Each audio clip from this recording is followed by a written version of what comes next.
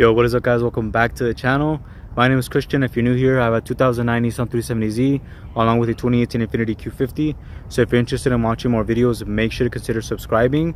But in this video, we're going to be specifically talking about the Infiniti Q50, what performance mods you should actually do to this car. I've actually been wanting to do this video for a really, really long time. I just never really had the chance to because I get this question all the time. Like, I'm not even gonna lie, there was a point in time where I was getting this question every single day on my Instagram, asking what performance mods you should do first.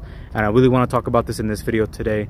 So I don't wanna waste your guys' time. It is getting pretty dark already, so let's go ahead and get started. Let's go ahead and start off with doing a walk around of the car. That way you guys can see how it looks and what's actually done to it at the moment. So here's my 2018 Infiniti Q50.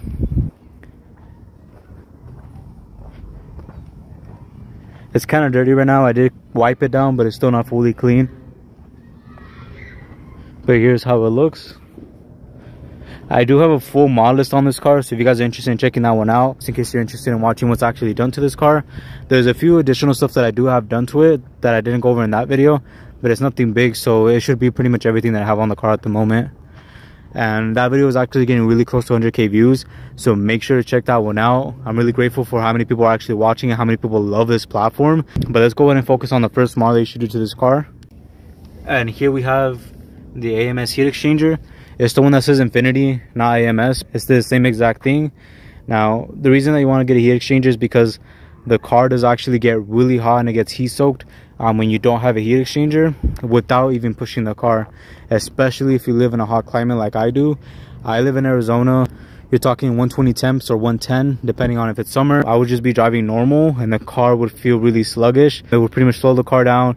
It wouldn't perform as much and I know for a fact that there are some tuners that will not even tune your Q50 without getting a heat exchanger. That's how important it is and that's how vital it is to be making sure that the car is safe and is performing well, keeping the car temps down when it comes to this engine and this platform. There is a lot of options available. There's Mishimoto, um, you have AMS, you have, um, I believe there's one called PLM, AMS did recently come out with a new model, which is a bigger heat exchanger, which is more for racing purposes or track purposes. So if you're interested in picking that one up, I would highly suggest it, but you do have to do some modifications in order to make that one fit because it is a lot bigger. They all have different price ranges. So just depending on the one that you go with, I know that this one right here, if the price is not changed, it was about i think it was 7.99 i picked it up. It was actually on sale and i got it for about 600 dollars. So i saved 200 dollars at the moment which is quite a bit. And then you have frozen boost which is actually the cheapest option but it's actually pretty small. It's kind of like a universal kit. So you do have to make it fit. You have to do your own like um, cutting your hoses and everything make sure it's all on there good.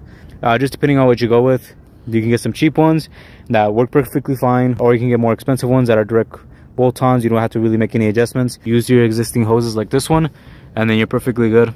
Now for the second mod it's going to be very debatable. It actually depends on what you want for this car. If you just want a jb4 you don't want to actually tune it. I would recommend getting a jb4 at this point because you have the heat exchanger so it's going to perform very well. And then you can just do your other mods later on down in the future. The jb4 does make it extremely fun if that's what you want now, let's say you don't want a JB4, you actually want to tune the car. I would go ahead and wait and get a few more parts. So now that leads me to the third mod. So if you don't plan on getting a JB4, I would highly suggest upgrading the exhaust, upper down pipe lower down pipe your Y-pipe, mid pipe, and your axle back. So just like the VHR platform, um, you do have a full exhaust. What you call in a VHR is a test pipe and a Q50 which is a VR30 platform you have what is called a downpipe. So you have your upper downpipe and you have your lower downpipe. You also have the option of a full downpipe which replaces the both of them. It's pretty much going to combine it into one and make it one full thing in order to go all the way down and go into your um, Y-pipe. If you do plan on upgrading to a, a full downpipe or just upgrading the upper downpipe you may have some issues. I cannot completely confirm that yet but there are some reviews of people saying that I may overboost. I have an AMS 3 inch lower down pipe along with a Megan Y-pipe. It goes from a 2.5 inch to a 3 inch and I have a 2.5 catback all the way down with one resonator right in the middle. You can kind of see the exhaust there. Pretty much goes from the Megan Y-pipe, it connects into one, then it's one straight pipe, and then it separates into two again with one resonator right in the middle.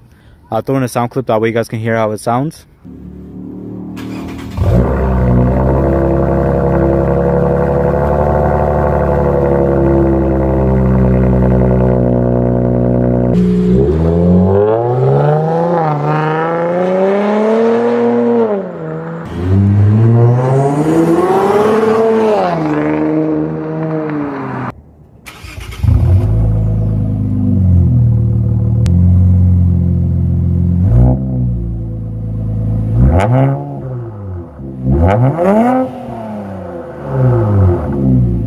The exhaust sounds pretty good in my opinion. It does have a little bit of rasp when it comes to straight piping the exhaust. I have one resonator so it does sound a little bit better but you will get rasp at about 3k. It's kind of weird with this platform because it's not like the VHR platform. Usually with the VHR you get like rasp all the time but with this platform because of the turbos it just kind of silences a little a little bit. It's kind of weird but like at 3k I'll get a rasp and then like after I reach higher RPM it goes away.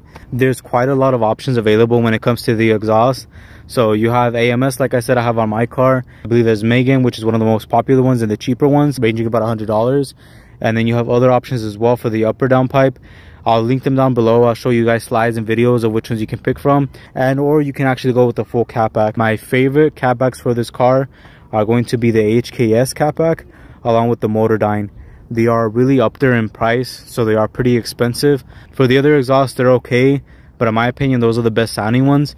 I know there's options like ARK fast intentions there's a few others available as well that you can pick from. The next mod is going to be two but i'm going to put it as one and that's going to be wheels and tires. If you want to put power to the ground you need to make sure that you're upgrading your tires and that you're also upgrading your wheels to be able to put a wider tire on there. Uh, right now i have sport rays from a 370Z. They are rears all around, meaning that they're 19 times 10. Here's the fitment. I have a 285 in the rear with their 35 sidewall and then I have a 275 in the front with a 35 sidewall as well it looks really good it looks really flush it's honestly way better than the 9.5 in the front because it sticks in quite a bit but with this one it looks pretty dope you have to be really careful when you're picking out wheels for this car um, when it comes to wheels you usually have to pick a really high offset in order to make them fit. The sport rays are a 35 offset and if you want to run like an 11 you have to go with like a 50 offset. You really have to mess with the numbers when it comes to this platform because not a lot of wide wheels will fit on this car because of the body shape width and the diameter. So it's really difficult to be able to choose something that's really wide to make it look really good. You're really limited on what you can pick but once you find that correct offset you can find something that's going to look really dope and really meaty the wheels are not actually black. They're a magnesium blue. I had them painted. It's really hard to see right now because of how dark it is but you can kind of see the hint of blue. Now a question that i see a lot in the forums is what kind of wheels can i get that will clear my big brake kit and honestly it has a lot to do with the wheel design and also the offset. The offset does play a part in it and how far it's going to stick out but you also have to keep in mind the wheel design how it's shaped if it's going to clear the wheel. So for example like this one if this wheel would have went straight ahead it would have just hit the caliper right here but because the wheel design curves like this it's gonna clear that big brake kit and I won't have any issues. I would highly suggest testing out your wheels before you actually purchase them if you can. That way you're 100% sure that it's gonna clear. Now for the next one, I would highly suggest lowering the car. It makes a huge difference. It just gives it a whole different stance on how it looks. It looks really dope. A question that I get a lot when it comes to lowering the car is should you go springs or should you go coilovers? In my honest opinion, most people that do purchase springs eventually go to coilovers. You can do springs if you just want to lower the car but the amount of work that actually goes into installing them is quite a bit. And in my honest opinion i wouldn't go ahead and just install springs and put the stock suspension back on there. If you're going to do this by yourself i would highly suggest doing coilovers because it is a lot of work especially if you have a high mileage car there's a good chance that those shocks that you are replacing with springs might be going out very soon. Changing it out to coilovers then you pretty much know that you have new suspension is going to last a while. So that's my opinion on springs versus coilovers. Of course with coilovers you have a lot more adjustability. For example when i installed my coilovers on this car i was able to adjust it up and down to where i wanted it for the fitment. If you have springs you're just going to drop it that inch and you're done. There's nothing else you can do about it. It's going to stay like that coilovers is honestly going to be the best way to go. You're going to be able to adjust your ride height or if you even want to adjust the dampening you do have that capability to be able to do that. You'll save the money in the end and i think you're going to be really happy with coilovers instead. Bags are also an option but of course they're more expensive. Not a lot of people are willing to put 4k into bags. There is quite a few options available. I'll list them down below again on what you can actually pick from. There is bc coilovers you have one of the more expensive ones which is rsr they're pretty expensive. I believe they're like I think it's like $2,000, over a $1,000 just to be able to purchase those. You also have HKS available. Now, another model I would actually suggest is going to be in the engine bay, and that would be a oil catch can. The oil catch can is going to help out a lot. Um, it might even save the motor one day because the oil catch can what it's doing is pretty much collecting any oil from going into places where you don't want it to go in order to pretty much save the engine keep it a lot cleaner. I have seen so many videos of people that have an oil catch can and once that once they take it off it's like halfway full and that's actually quite a bit. I do plan on getting an oil catch can in the future.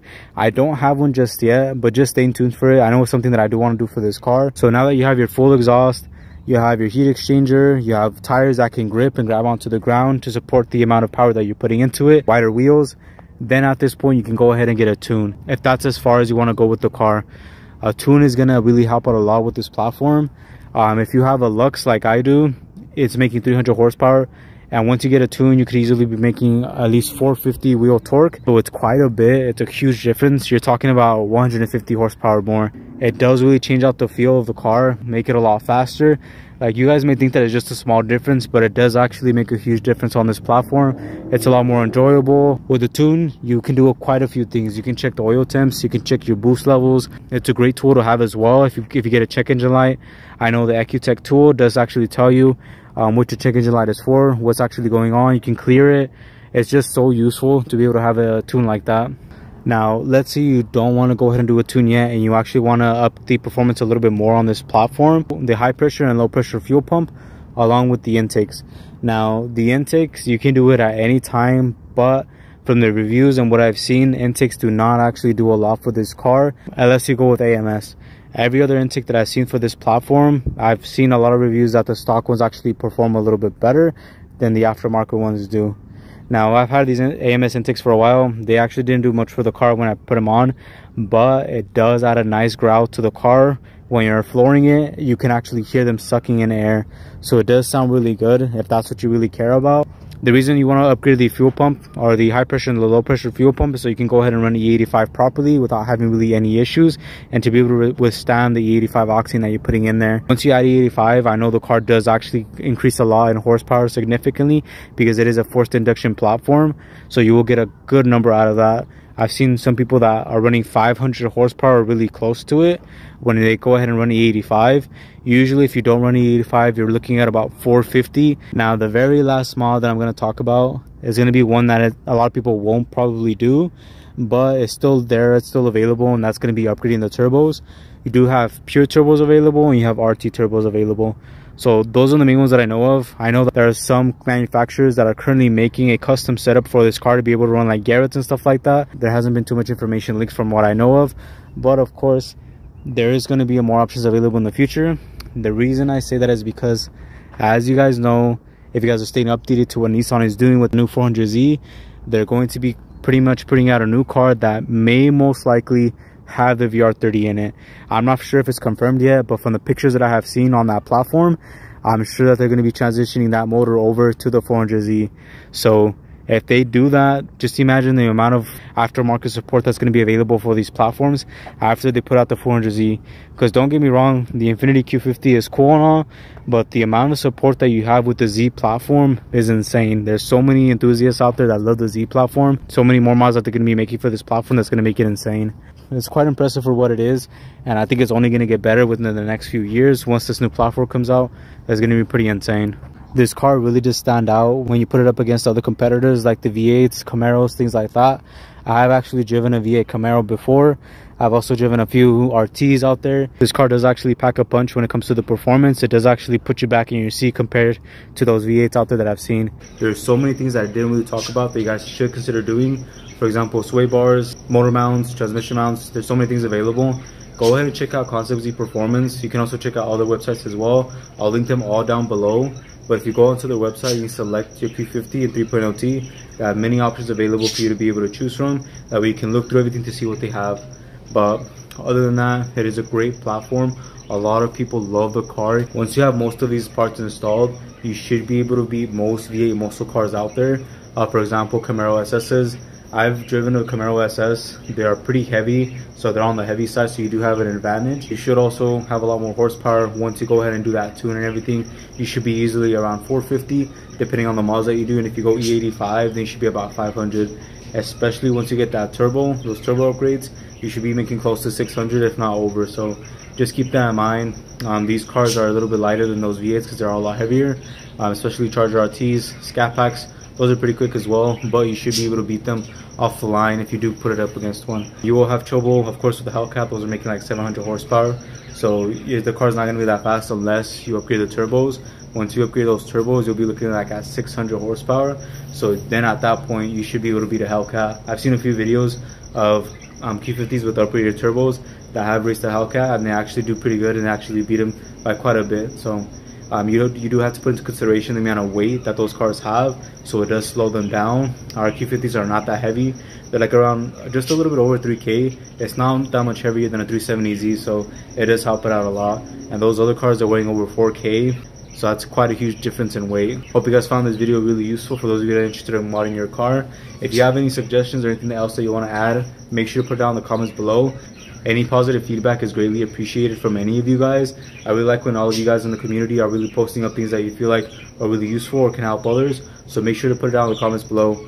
But yeah, thank you guys so much for watching. Make sure to like, subscribe, hit that bell notification, and I'll catch you guys in the next one. Peace.